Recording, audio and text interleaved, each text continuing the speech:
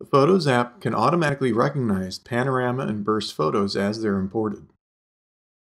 Both panoramas and bursts get their own album as well. Panoramas can be taken with an iPhone, iPad, and many other cameras by sweeping across the horizon. Here's a panorama taken with an iPhone.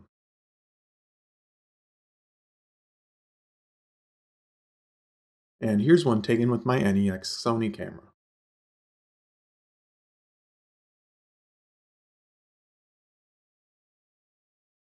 Panoramas can be a great way to capture all of what you're seeing. And of any camera that I've worked with, the iPhone panorama mode is probably the best one.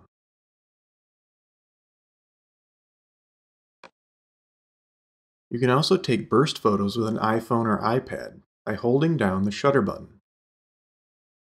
This results in several photos taken in quick succession. The burst album is automatically created in Photos when any bursts are imported. When I view these, not all the images are displayed. I need to select a burst and click Make a Selection to view all the images within it.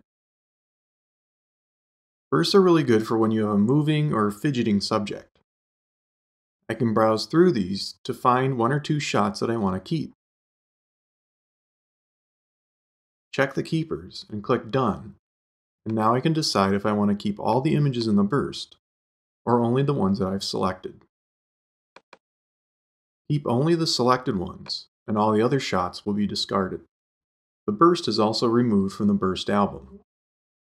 The two photos that I kept will now reside in my library as standard images. So after importing bursts, it's a good idea to browse through them in the burst album here, and select images from each burst that you want to retain in your photo library.